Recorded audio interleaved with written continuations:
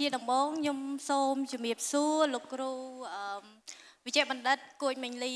អឺនាងខ្ញុំគឺជាថា fan ខ្ញុំតែងតែអឺស្ដាប់លោកគ្រូតាម YouTube ហើយអឺមើលតាម quote Facebook ផ្សេងផ្សេងអញ្ចឹងថ្ងៃនេះខ្ញុំអធិស្ឋានខ្ញុំមាន សំណួរមួយចង់សួរលោកគ្រូខ្ញុំចង់ដឹងថាតើលោកគ្រូមានអឺគម្រោងខាងមុខ ក៏ដូចជាបង្កើតប្រវត្តិសាស្ត្រអ្វីខ្លះសម្រាប់កូនខ្មែរនាពេលអនាគតចាអរគុណលោកគ្រូអរគុណច្រើនអឺខ្ញុំមកស្រុកខ្មែរខ្ញុំបង្កើតប្រវត្តិសាស្ត្រមួយគឺខ្ញុំពេទ្យស្ម័គ្រចិត្តដំបូងគេខ្ញុំគិតមើលទៅតែអត់មានយល់លុយចំណាយរៀនឡើងឡើងចង់ឈួរហើយតែអត់មានយល់លុយទេបាទហើយប្រវត្តិសាស្ត្រមួយទៀតខ្ញុំជាពេទ្យដំបូងព្យាបាលអស់50ម៉ឺននេះអីអស់8លានដុល្លារទាំងថ្នាំទាំងព្យាបាល អត់ដែរយកមករៀលទេទាំងព្យាបាលឲ្យឲ្យថ្នាំគេទៀតម្នាក់ម្នាក់អស់500ក៏មានដល់1000ក៏មានថ្នាំហើយខ្ញុំឲ្យអាហារបកអត់មានកំណត់ទេខ្ញុំធ្វើលើមកស្រុកខ្មែរអត់មានក្រុមហ៊ុនណាអង្គការណាស្ថាប័នណាដែលឲ្យអាហារបកអត់កំណត់ទៅលើលោកសង្ឃហើយអ្នកក្រីក្រឲ្យតែក្រពិតគឺពីបញ្ញាមត្តដល់បណ្ឌិតក្រោយបណ្ឌិតបណ្ឌិតជាន់ខ្ពស់រហូតដល់បណ្ឌិតចង់អស់បណ្ឌិតក៏បានដែរឲ្យតែចង់រៀន បាទអត់មានកំណត់ទេ បាទពិតជាក្រមែនប៉ុន្តែអ្នកក្រពិត គឺកម្រមកហ៊ាន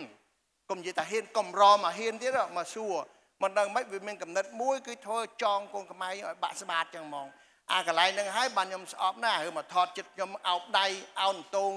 ហើយស្ញោស្ញោលោកដកអាដំអុកញ៉ាវិជ្ជៈនេះ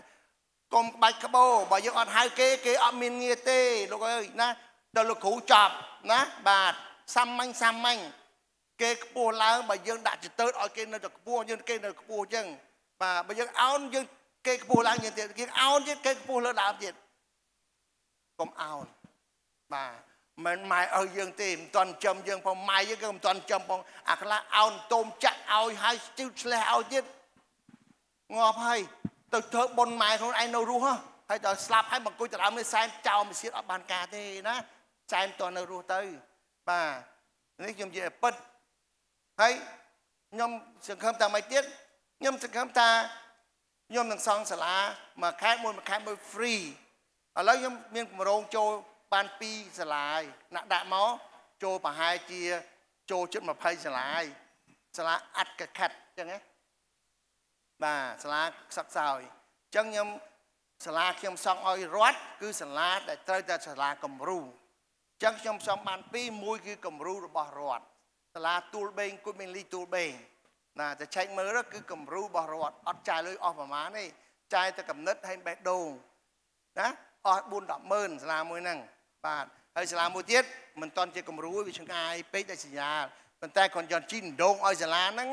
តំបន់ហ្នឹងជី4ដងម្លំចេញទឹកព្រោះតំបន់ហ្នឹងរាប់រយឆ្នាំហើយនៅនឹងអត់មានទឹកទេជីប៉ះតែថ្មខ្ញុំជីតតតែចេញទឹក កន្លែងណាថាជិះចេញទឹកមកប្រាប់ខ្ញុំអស់ប្រហែលនឹងក៏ជីកឲ្យជីកតចេញទឹកប្រើមិនអាចអត់មានទឹកប្រើប្រជាជនសម័យលើវេទនាណាជីកអស់40000ជិត50000តតែចេញទឹកហើយធ្វើសង់សាលាហ្នឹងអស់ជិត200,000ដែរចឹងសាលាមួយមួយកន្លែងណាខ្វះឲ្យខ្ញុំដឹង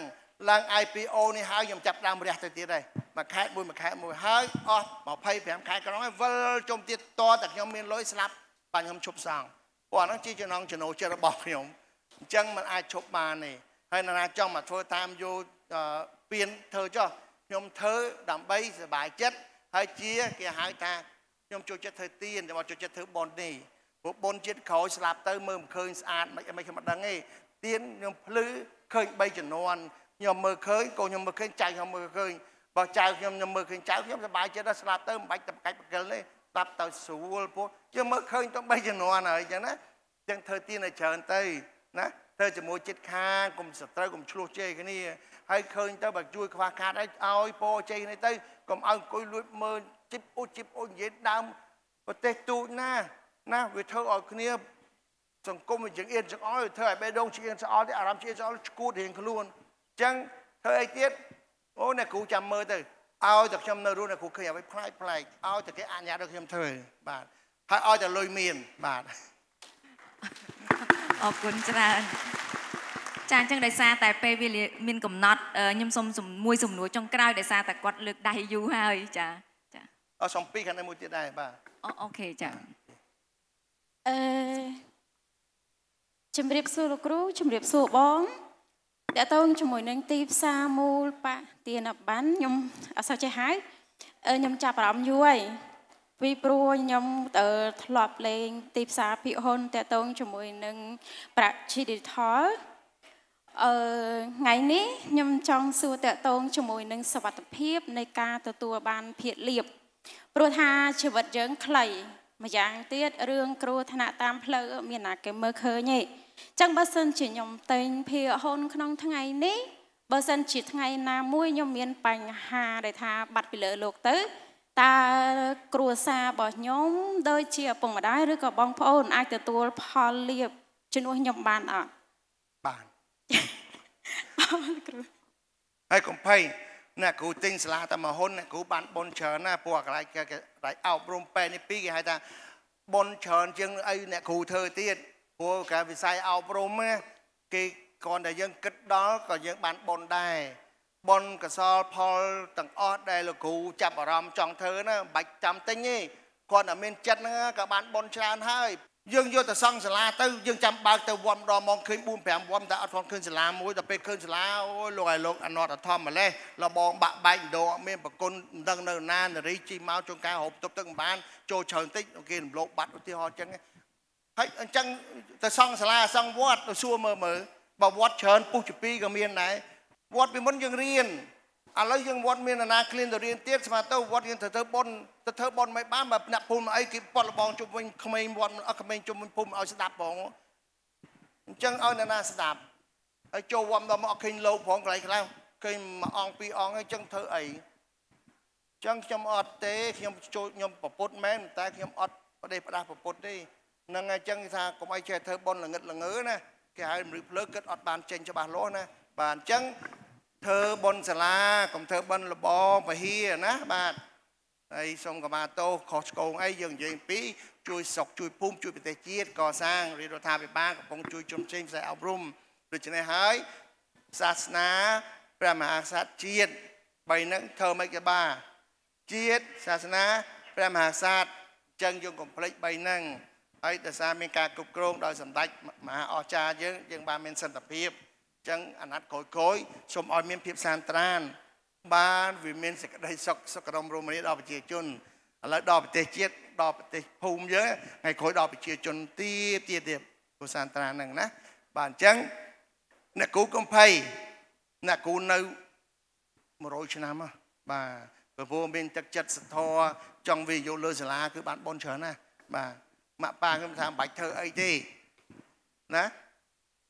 ចំព្រះរស់ទៅបានបុណ្យហើយហើយបើគេឃ្លាន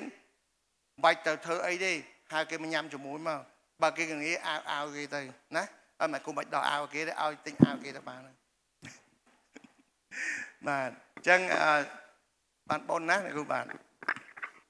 ញ៉ាំខ្ញុំសុំថែមបន្តិចក៏លោកគាត់មានចម្ងល់អញ្ចឹងវិនិយោគក្នុងផ្សារហ៊ុនស្រុកខ្មែរវាខុសពីយើងវិនិយោគនៅក្នុង digital currency digital currency មិនមែនជាផ្សារមូលបត្រ មិនមែនជា capital market ទេ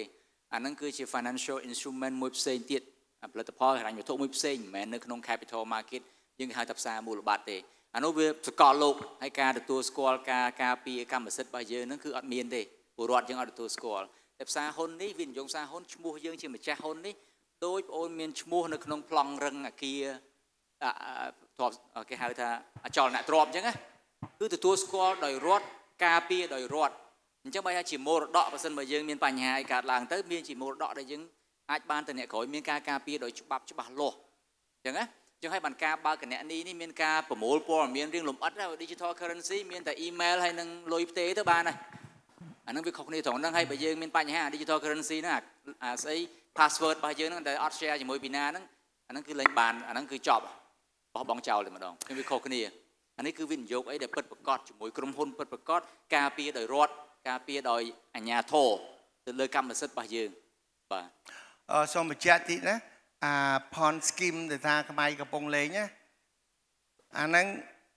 ដែលធ្វើឲ្យសេដ្ឋកិច្ចពិភពលោកអលំម្ដងដែលបានស្អី Madoff បាទ Bernie Madoff ធ្វើទីផ្សារលំនោះដែលថា pon scheme ហ្នឹងឯងឥឡូវវាហៀមកដល់ស្រុកខ្មែរដែលយើងកើតឡើងចូល40ឆ្នាំ30ឆ្នាំមុនហើយយើងរងថ្ងៃថោតណា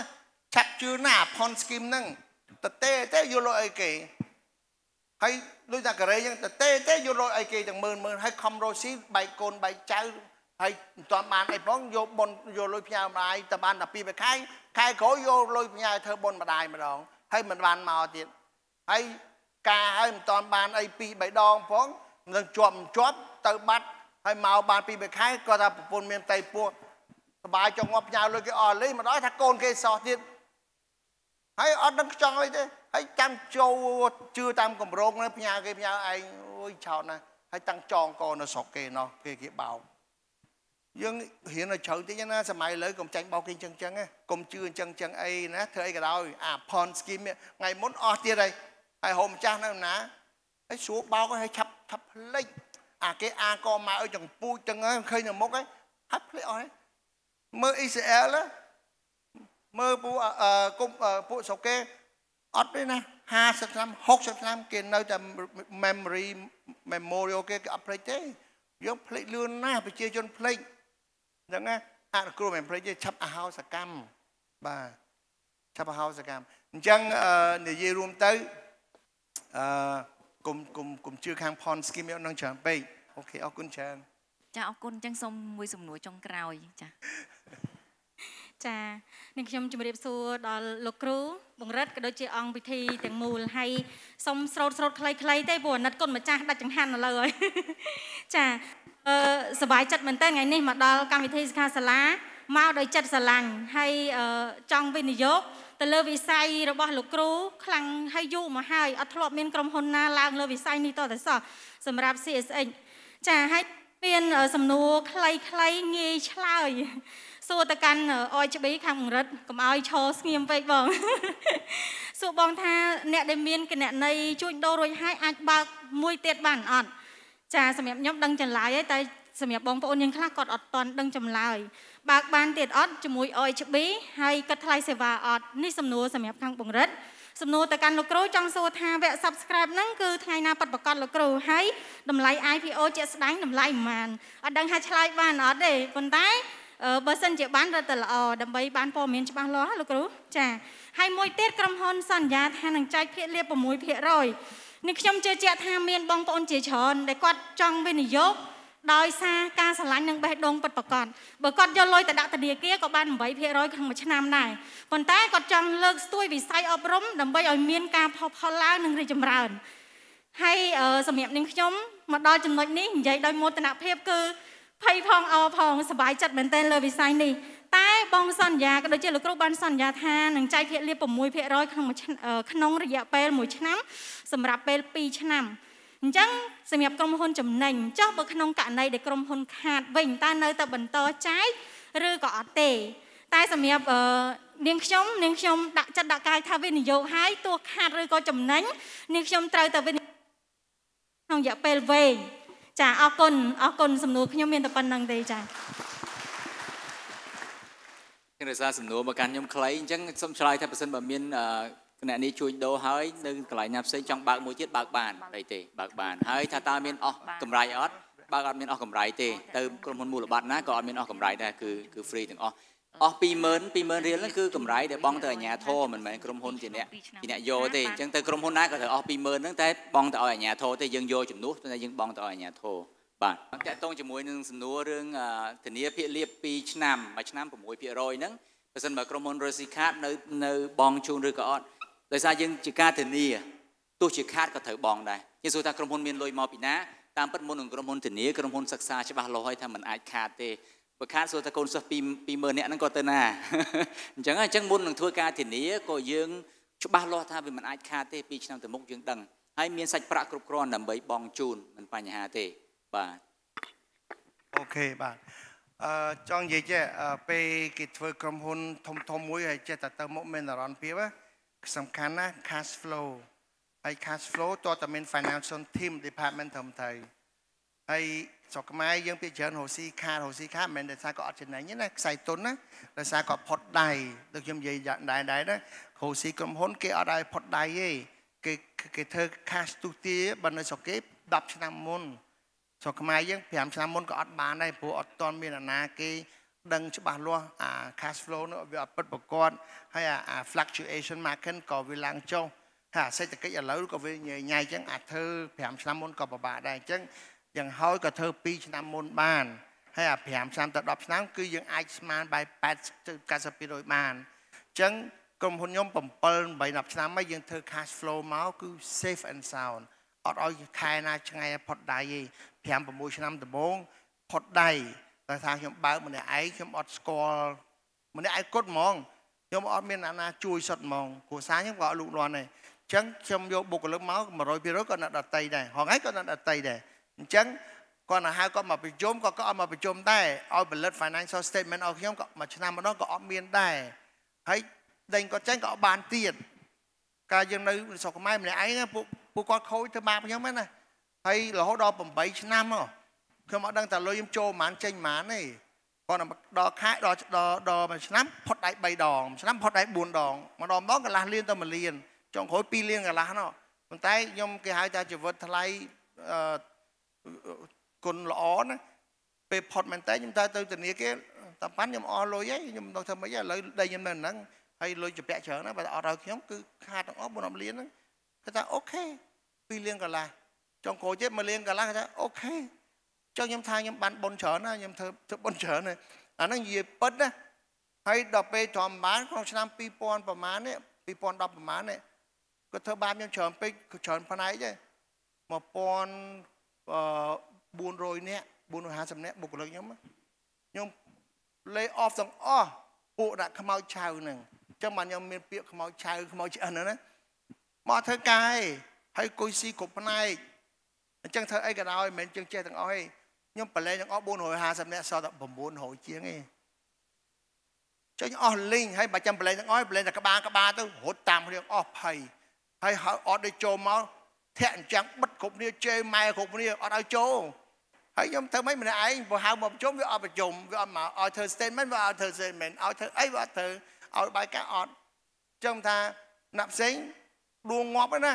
ហើយខ្ញុំមិនធ្វើអីមានអង្គុយយំហើយក្រោពិធីសាគួយយំពិធីសាផឹកស្រាទាំងឯងយកចង់ហ្មងមកភ្លើងពុកម្នាក់ឯងគត់អត់មានណាជួយទេដល់ពេលអញ្ចឹងទៅនាំរោចេញបានខ្ញុំថាងាប់ព្រោះពេលនេះហើយបើខ្ញុំបន្តទៀតគឺខ្ញុំដឹងថាលំ ហើយពួកនេះគួយស៊ីខ្ញុំដល់ងាប់ហើយអត់ដឹងមុខបោះស៊ីប៉ុន្តែដល់ពេលដាក់ audit ចូលមកចាប់ផ្លឹបផ្លឹបផ្លឹប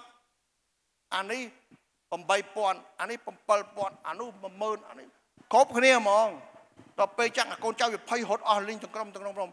450នាក់មកផ្លែកហ្នឹងឯង1450សល់តែ900ជាងហើយណានាគេដឹងរឿងផ្ទៃក្នុងខ្ញុំតែវាហួរហើយនិយាយទៅជាប្រវត្តិ ចឹងមិនមែនមនុស្សយើងឆ្លាតឆ្លាតទាំងអស់ទេវាមានល្ងងពីដើមមកបានឆ្លាតកើតចឹងគេថាបរាជ័យវាវាច្រើនដងមិនធ្វើយើងជោគជ័យជុំកុំកុំកុំកុំខ្មាស់ហើយកុំឲ្យខ្លាចគេសើចទាំងអស់ហ្នឹងហើយជាឆ្អឹងរឹងមាំរបស់យើងធ្វើឲ្យយើងស្ពានទៅមុខហើយខ្ញុំប្រាប់លោកគ្រូឲ្យដឹងបុគ្គលិកនៅស្រុកខ្មែរ